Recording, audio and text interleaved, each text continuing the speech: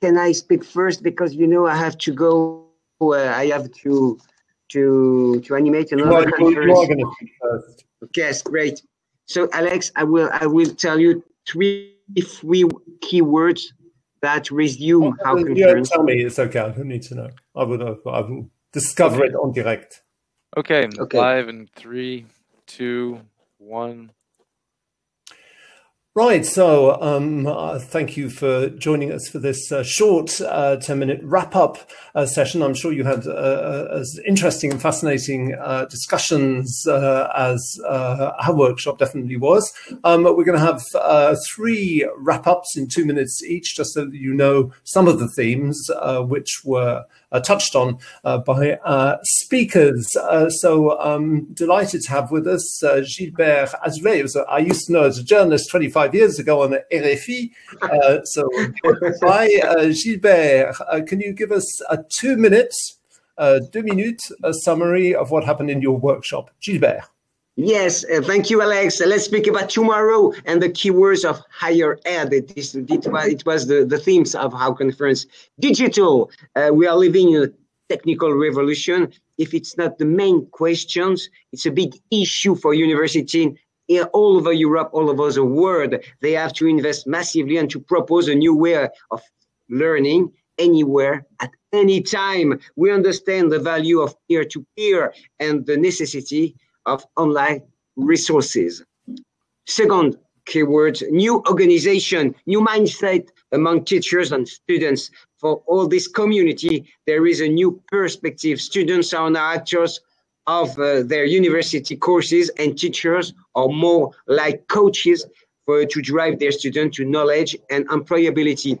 This, news, uh, this new mindset drives us to mixed disciplines and also to create a community between initial and professional education. There is a continuum, as we used to say. And the third key point, impact and search of purpose. Students on how the higher ed community wants to know the impact of their actions, impact on planet Earth, impact on uh, for their today's life, and how I can help make things better uh, and not to make it worse.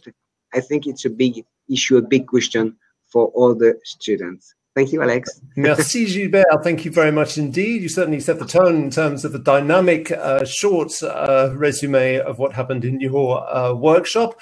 Delighted now to hand over to uh, Kate Daubney. Uh, Kate, in, in two minutes, if you could give us a, a taste of uh, some of the uh, things, the experiences that uh, that you've been talking about. Kate.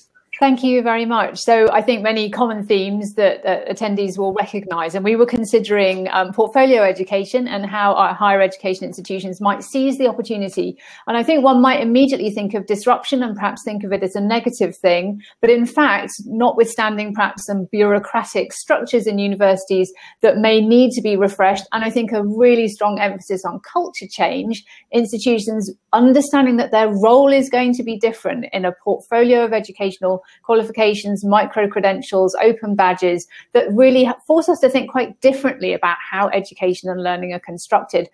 And recognition and validation was quite a key part of that conversation.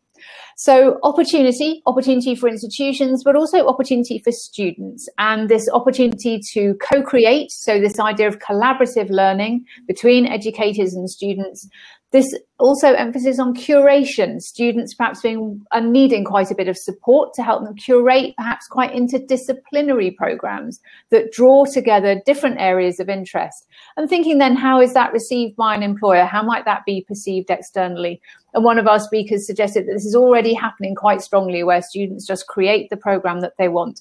But context still very, very important and also trying to move ourselves away in how we understand learning and knowledge as perhaps away from a deficit model and more towards something that's about adding and recognizing what is already there and the importance of doing that in a holistic and quite inclusive fashion.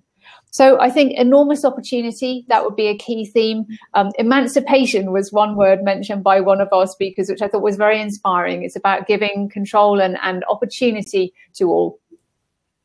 Okay, thank you very much indeed for that uh, a very dynamic uh, resume. Um, as regards uh, the workshop that uh, I was lucky enough to uh, be participating in, we had uh, Thibault Duchesne from the CNAM who talked about the slight problem there is in France with the meritocracy system that tends to favour the, the, the, the, big towns and how the CNAM has been very dynamic, especially over the last year or so, in helping um, small, uh, smaller uh, towns uh, with uh, less uh, geographical uh, mobility, where there's an, often a lack of training possibilities. It's important, as a Thibault, to work with local politicians and to work with the French Uh, government uh, in order to get these uh, towns uh, on board. There have been 30 uh, new centres open since 2019. We heard also from HESAM University Jordana, who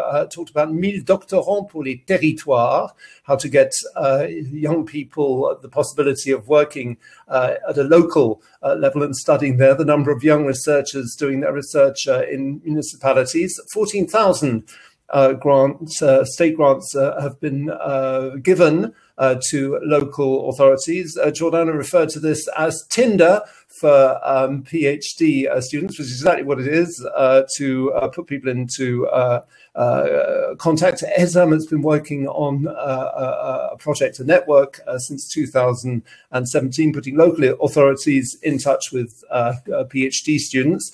And then we had a very in, interesting Chase initiative from Stephen uh, Colborne uh, between the uh, possibilities in in London and the south of England, also East Anglia. Uh, this was coordinated by the University uh, of Sussex and started in 2014 and uh, concerns arts and humanity uh, students. He gave us some concrete examples of some of the things that uh, uh that Chase has been involved in, for example, feminist networks and also uh, climate change uh, initiatives, and uh, also talk briefly about some of the international aspects. there have been other examples, for example, in South Africa uh, and how Chase has helped uh, students to uh, uh to get to the uh, work at the BBC uh, with Berkeley and Tierra Digna.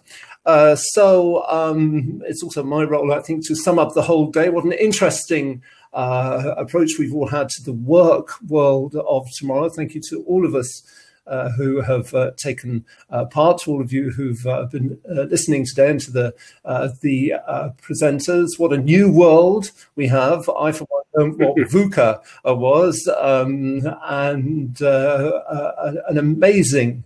Uh, set of uh, challenges, uh, but also, I think, as we've seen, to, seen today, quite a lot of interesting uh, initiatives uh, which uh, which are out there uh, whenever the world gets back to normal, or perhaps that's the exciting thing, what the new normal is. Thank you very much to all the organisers uh, of today, to uh, HESAM Université, to the British Council, and to the University of London Institute in Paris, wherever you're watching us. Thank you very much. Merci beaucoup et au revoir. Goodbye. Au revoir.